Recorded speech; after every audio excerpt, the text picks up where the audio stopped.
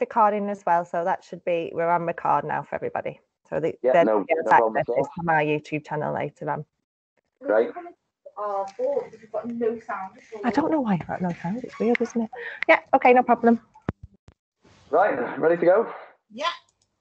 Brill. Okay, so uh, good morning, everyone. Um, so my name's Chris. I'm for the school liaison link from uh, Wigan Leigh College. It's nice to see you, uh, if all but virtually, or you can see me at least. Um, and hopefully, what I'm going to do for the- next um, kind of 10 minutes or so is just tell you plenty more about the apprenticeship pathway. Um, a, a number of you understood to be looking at a few different areas. Uh, I've mentioned about motor vehicle, about trades and things. So that's great. I'll come on to that in a bit more detail as, as we're going through.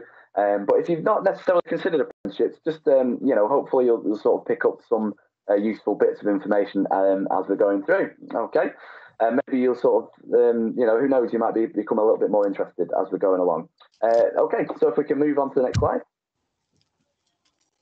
Well, okay, so hopefully what I'm going to cover in the uh, the next next few minutes is all these sort of uh, frequently asked questions about apprenticeships. So, um, kind of how do I apply for one? What subjects are available?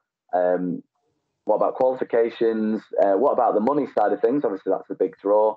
Uh, and also, what is a CV? Because they are very, very crucial um, to kind of um, the process with apprenticeships. So, uh, can we move on to the next one, please?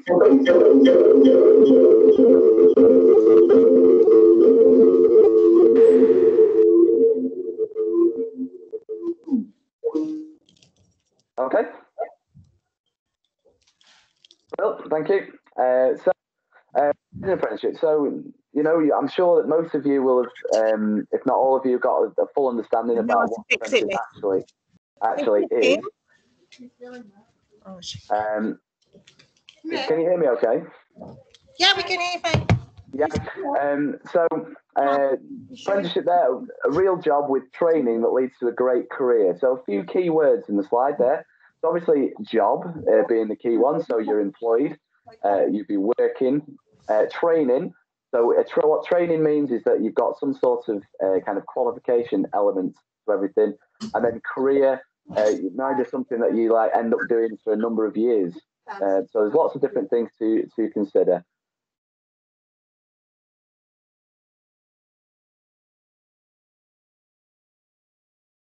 Brilliant. Okay, so uh, how do they work?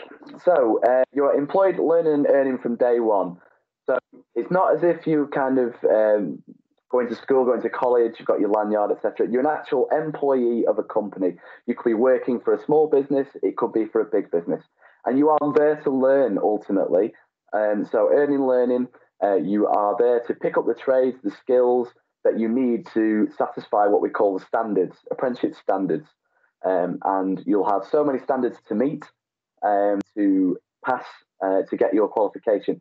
Um, if you just keep go to the last slide, sorry. Oh, we're going too fast. Oh, that's it. So generally, you, you're in four days at your job and one day uh, at the college. Sometimes that can differ depending on the job that you have. So some in some apprenticeships, five days a week you are there with that particular company. Other, other jobs come with uh, one day a week day release training. Okay. Um, with every apprenticeship, there is that day release training built in. It just depends. Some do it in the workplace, some do it at college. Okay. And again, a nationally recognised qualification. Okay, so that was one of the questions on the first slide there. What kind of qualification do I get? It's a nationally recognised qualification, and there is a kind of a ladder of progression, which I will again come on to uh, further in this presentation. So there's a lot to like about apprenticeships. You know, there's the kind of job prospects, uh, earning money, but also you're getting qualified at the same time. Okay, yep, we move on. So learning is a real kind of um, attractive part of apprenticeships. Obviously, if you go to college full time, uh, then obviously you just go to college. But if you're going to a, your job as an apprentice, then you can expect to earn a salary um, or like a, an hourly wage. Uh, and the minimum uh, wage that you can expect is £3.90 per hour. Okay. Now, some apprenticeships will tell you how many hours and then they'll put you on kind of minimum apprenticeship wage. Apprenticeships are better than that. and they come with a, a kind of yearly salary. So it does differ um, from job to job. You know, some some apprentices are better paid than others, but the minimum you will earn there three pound ninety uh, an hour. And like I said about this whole thing about you being an employee of a company, you know, you get holidays throughout the year, not just a case of oh it's half term I'm off, oh it's summer holidays I'm off. If you start an apprenticeship, uh, say next year, um, you'll have you know whatever entitlement um, companies have. So say if they're five weeks a year, uh, like someone like me, then then, then those are your holidays, okay? So you've got to be prepared for things like that. Uh, next slide, please. So different types of apprenticeships. So these are common, uh, like across the board. If you're looking at apprenticeships and you don't necessarily see uh, what you kind of want on there, doesn't mean it does not exist. Okay, so uh, it might be something quite niche. It might be something in a different area to the ones that are on the screen. These are pure ones that are at college at the minute. These are the ones that we that we offer. Okay, so they're kind of sectioned off there. The business and professional roles and the construction and engineering roles. So you've got you know a wide range of uh, sectors. So you know hospitality sector, hair and beauty, um, catering, things like that, uh, and uh, business and administration. So those are fall under business and professional there. And then construction and engineering, things like your trades, okay, really, really popular um, areas these for apprenticeships. So things like carpentry, joinery, uh, engineering, okay. Um, these, these are really, really popular, okay. So, and the electrical should be on there um, as well. Uh, not quite sure that's on there, but um, yeah. So you can just see these are the types of areas. If you can't see that, um, the, the area you're looking at in there, chances are that you might possibly need to go to college to a full time college, or somewhere else may offer you that apprenticeship opportunity. Okay. And um, next slide, please. Now, a kind of a bit of a myth, really, about apprenticeships. Um, some students I've encountered in the past uh, have been kind of of the thought that, oh, it's okay, but like my uncle runs this company, uh, he'll take me on. Uh, it doesn't matter what grades I get. Uh, unfortunately, it doesn't work that for us as a college. So for us to take on apprentices, uh, sorry, apprentices, what we need to see from you are your um, your grades that meet the entry requirements.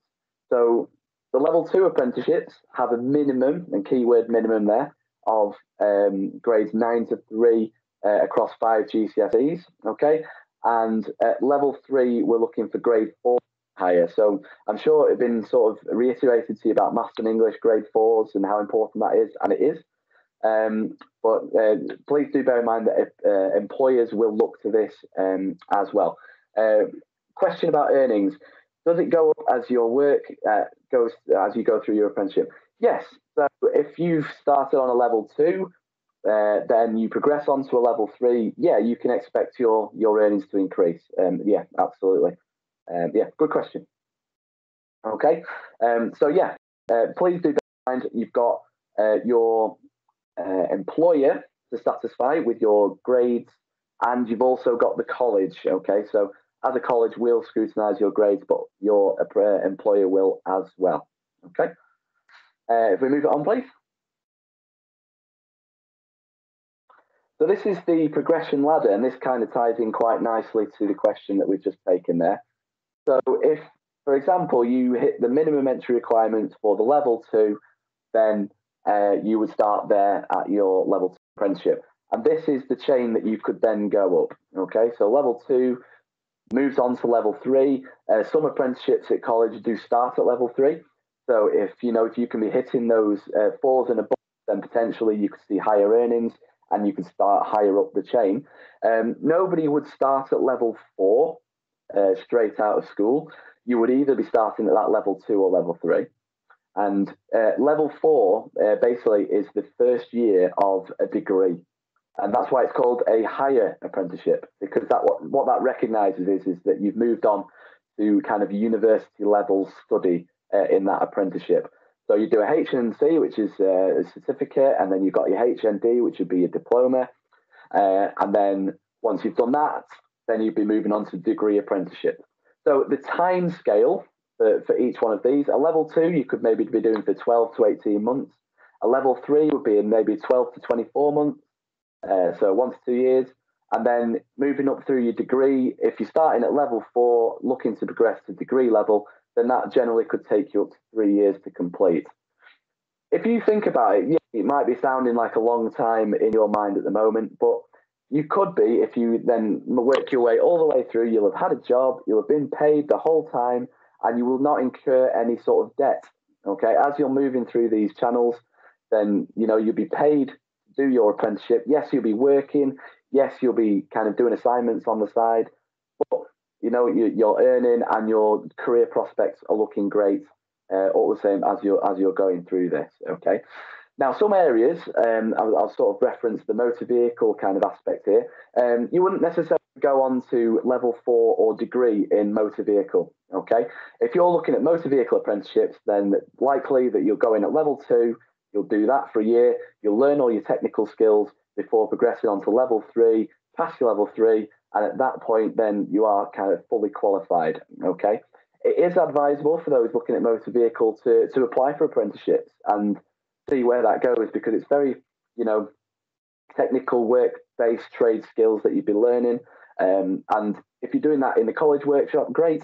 But if you're doing that as an apprentice out in industry, then uh, that'll serve you quite nicely for job links, for job experience.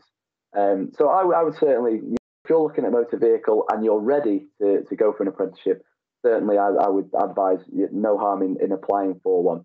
Um, so uh, I hope that helps those sort of motor vehicle um, kind of candidates.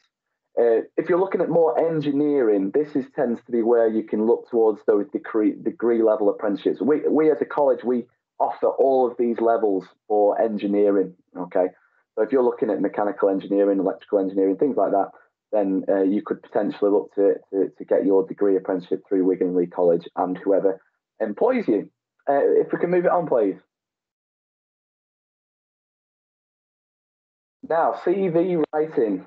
Uh, so this is a really essential part of the process uh, for you now if you are looking at apprenticeships.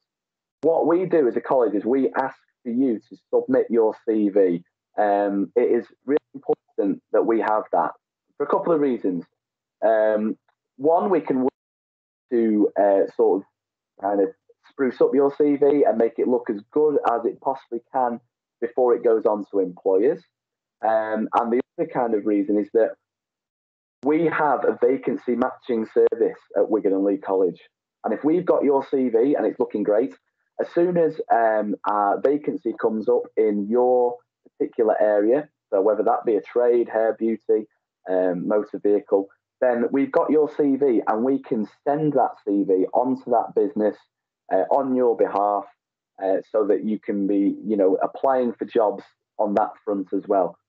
So we'll help you apply for jobs, but also uh, you need to do that as well. It's a two pronged approach. The more kind of um, you know avenues for you, the better. Okay.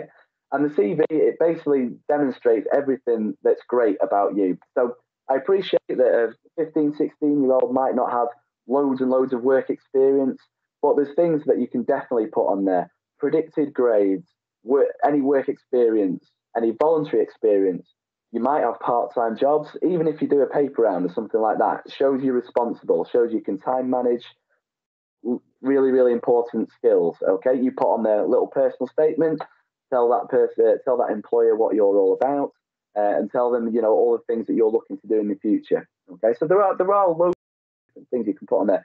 Achievements hobbies interests don't downplay anything okay? If you've got you know if, if you um, play sports or you, are in a dance club or you do baking or anything like that, you know, that can sort of see, you might have baked for a bake sale for charity. Brilliant. Get it on your CV um, because, you know, it's really good stuff that employers want to see. Okay.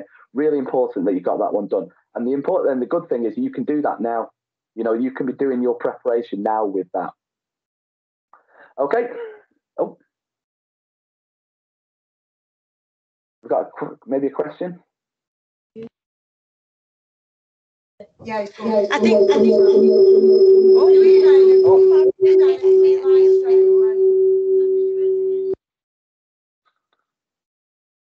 Maybe put a question in the chat if it's a question. Um, Sorry, Chris. Um, that was my and I tried. I've got the on the screen in my room. Um, I think that was. If anyone's got any questions, you know, what's the next steps and what they should be doing? Right. Okay. I think it's on the next slide, uh, quite possibly. Um, but yeah, you, if you've not applied already, then make sure you get your applications in. Uh, I'd always recommend creating a, an account on the government website as well uh, to see all of the apprenticeship opportunities that are out there. Um, but yeah, uh, that's the sort of process for now. As us as a college, when we interview you, uh, hopefully not too long into the new year, then we can uh, talk you through more uh, at that stage um, regarding you know um, what you're hoping to go on to, talking about your CVs. Uh, question here: uh, How long does Wigan Leigh take to respond to applications? Right, good question. So, because we've not uh, finalised the interview process in light of COVID, um, we have acknowledged applications to say, yep, we've got them. Um, but what we uh, the students should have an email back say that. Um, and we'll be in touch to organise your interviews as soon as we can. As soon as we know exactly what we can do safely, then we'll be in touch about your interviews. And we are looking at doing those in school as well. So um, probably everybody from who's applied to Wigan and Leigh College will do their interview in school. Um, so we're just working out how we're going to do that. So don't panic if you've not heard back from them about your interview, because I know that some other colleges have got, got in touch. Okay, so brilliant. That's great. I'm going to pop this on our school YouTube channel as well, so anyone can go back and have a look over it if there's anything that they didn't hear. Um, and thank you. Thanks very much, Chris, for your time. No problem at all. Thank Cheers, you. thank Bye. all. Thank you.